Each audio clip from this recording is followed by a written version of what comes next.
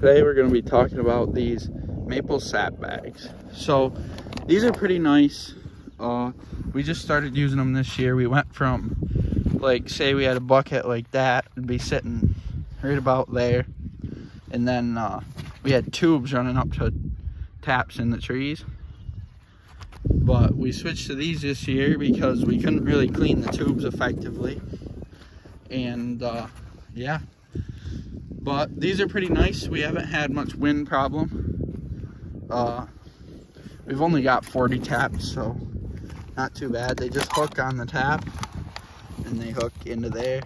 So these aren't the taps that they recommend or are technically supposed to be with these bags, but they don't, let me take this off. They don't have, see there's a lip there right by the hook. So that hook would be down there if you're gonna use a bucket.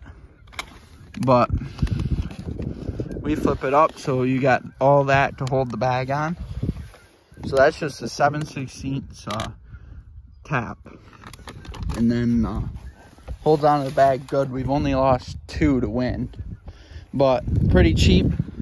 The holder itself is like, we paid like 450 and baggers are like 50 cents a piece.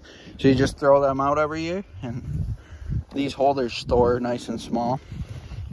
So, and then I don't know if I can show you, but these, so you don't take them off to empty them. They got a slot in there. You can see the sap's running right now. So you just dump it out there. We dump it right into our bucket. So that's how they work. I think it's a good option. These trees are, you know, it's just a line of trees and then a cow pasture. So on either side. So plenty of wind here. And we've only had two fall off in the wind so far. So, but yeah, as you can see, that's pretty full. These are four gallon bags. I got them from a local sugar supply. So good luck and yeah.